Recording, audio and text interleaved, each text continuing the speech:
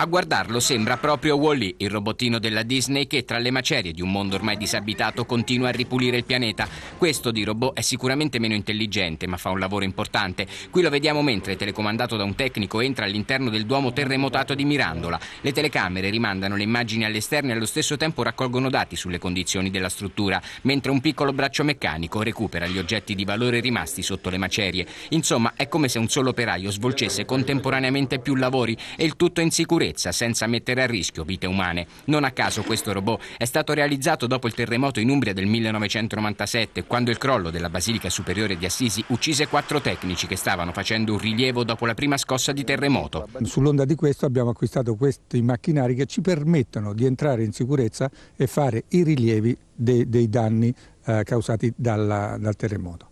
In questi giorni il robot ha lavorato nelle chiese danneggiate della diocesi di Carpi, in particolare nel Duomo e nella cattedrale di Mirandola. Muovendosi tra le macerie ha fatto analisi, rilievi e raccolto dati che saranno fondamentali per gli interventi di restauro.